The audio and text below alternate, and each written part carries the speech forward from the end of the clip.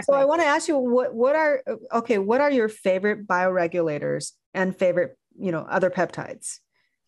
Um, so my favorite bio, so I, you know, I should say that I've taken them all because I'm in a clinical trial and, you know, I'm I'm working on reducing that biological age. So mm. I cycle through all the bioregulators month to month to month.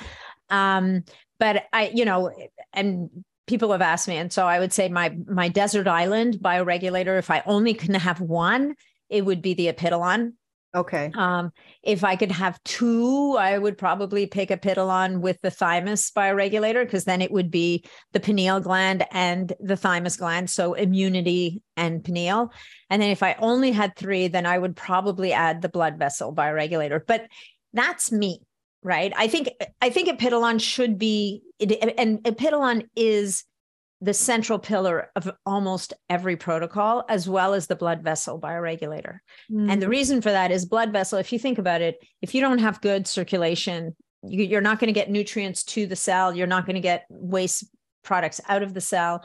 It kind of makes sense that it would be an anchor. But after that, it kind of depends. Like if a person has liver issues or heart issues or, you know, or I, there's actually there's another one called Cartalax, which is a cartilage bioregulator. But what it does is it upregulates the production of collagen and elastin.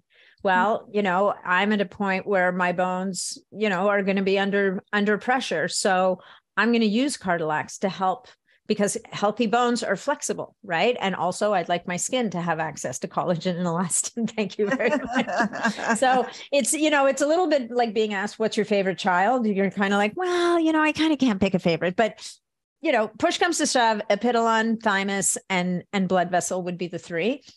And then on the peptide side, I, you know, I'm a bit limited because I can't use TB4 or CJC ipamorelin. I think if I could, they would be at the top of the list. But BPC 157 for me, because it's so versatile and it does so many things.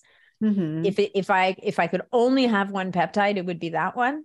Mm-hmm. And then I think the next one, uh, I don't know, maybe it could be thymosin alpha 1 or it could be GHK. It's kind of hard to decide between the two of those. Yeah, GHK is almost a bioregulator. It's it's borderline, right? It's only three amino acids. It acts on the on the DNA. It does like all these different things. Like, you know, it, it even has brain benefits. It's mm-hmm. right. It's yeah. it if you have an injury, it helps with to reduce scarring. It's like good for skin. It's yeah it's just it's a little bit nutty all the things that that little tiny peptide can do